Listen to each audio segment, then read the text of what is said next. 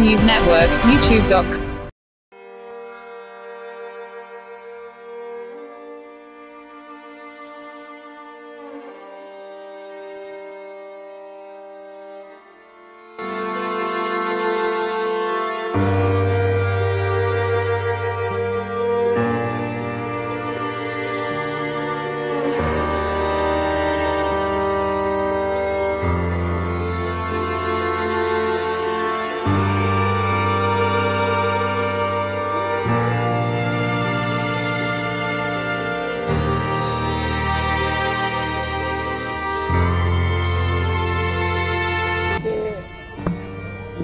पर हमारी पार्टी को व्यक्तिगत तौर पर मुझे काफ़ी दुख है।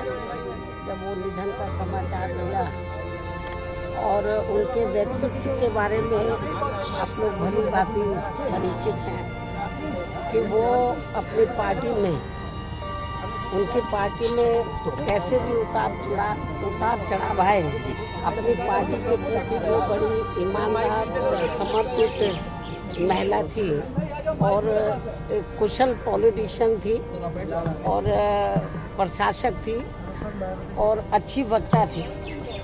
और उनका जो व्यक्तित्व था, वो बहुत ही मिलनसार वाला था। किसी से वो, चाहे वो अपोजिशन के लोगों, सबके साथ वो रहती थी। और तथ्यों के आधार पर, मैंने पार्लियामेंट में देखा, तथ्यों के आधार पर वो अपनी बात को रखती थी। उनके निधन को सुनकर मुझे व्यक्तिगत तौर पर हमारी पार्टी को बड़ा दुख है। ऐसे दुख की घड़ी में कुदरत से हम लोग ये, यही प्रार्थना करते हैं कि कुदरत उनके परिवार को इस दुख को सहन करने की शक्ति प्रदान करे।